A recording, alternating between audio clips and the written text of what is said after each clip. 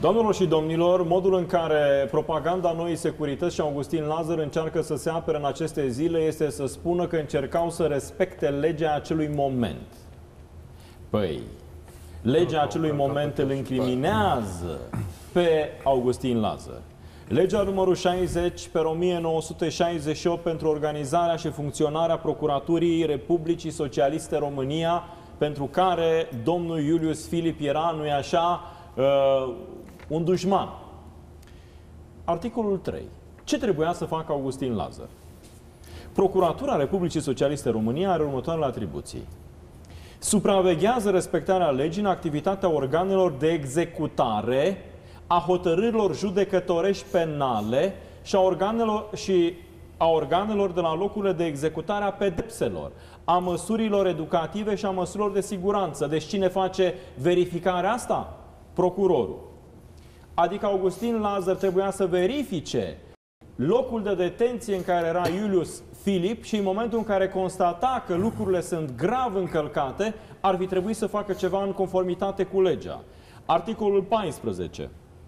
Procurorul verifică la locurile de reținere și detenție preventivă legalitatea măsurilor de reținere și arestare preventivă, precum și a condițiilor de reținere și de detenție luând măsurile prevăzute de lege.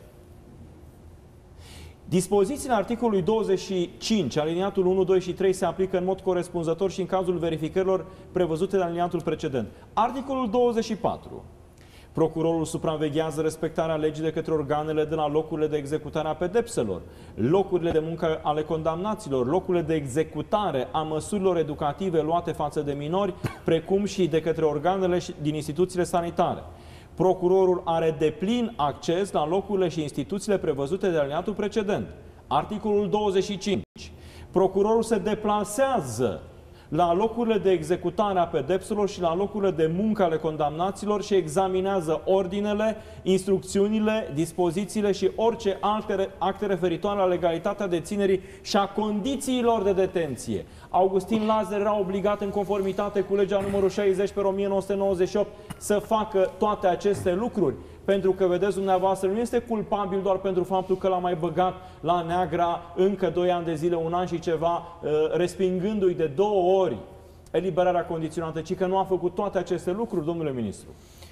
Da, uh, din păcate observ uh, că sunt anumite persoane pentru care nu există lege.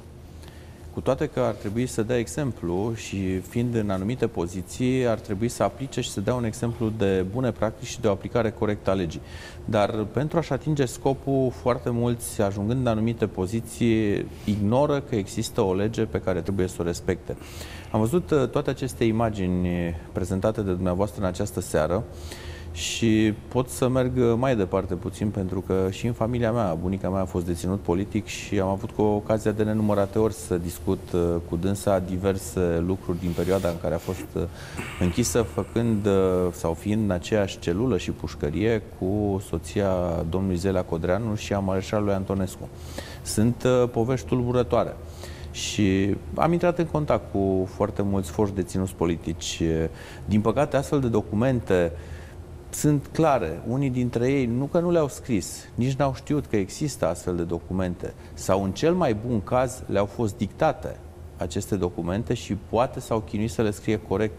Și aici eh, mi-aduc aminte de regretatul filozof Nicolae Mărgineanu, tot așa deținut politic, vecin al meu din localitatea mea natală, a scris și o carte, Anfiteatre și închisori, în care chiar dânsul spunea că trebuia să fim foarte atenți pentru că nu înțelegeam ce ne dictează, atât de agramați erau cei care ne dictau Normal, anumite da. lucruri.